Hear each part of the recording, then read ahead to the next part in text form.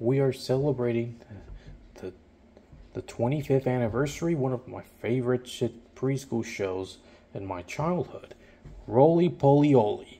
It was released on on on television on on October 4, 1998. However, it that was from this weekend and it was from 2 days ago. However, I remember watching that show back in the day, but that was a long time ago, and I really loved that show when I, when I was growing up. And I and I started to think to love Playhouse Disney. And later, and now Playhouse Disney has become Disney Junior. And the series has ended on April 28th, 2004.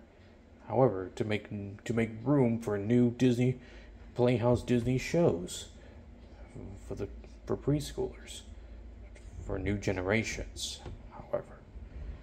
Let me know in the comments, and this is Minion Fan 1024 signing off.